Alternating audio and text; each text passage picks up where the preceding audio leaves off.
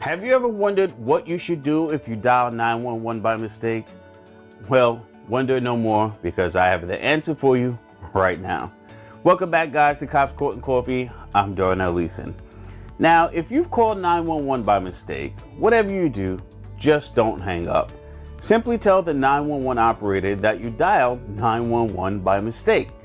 Reason being is that all 911 hang up calls are always called back and if you don't answer, you best believe that your local law enforcement agency will be dispatched to the location that showed up in the enhanced 911 system.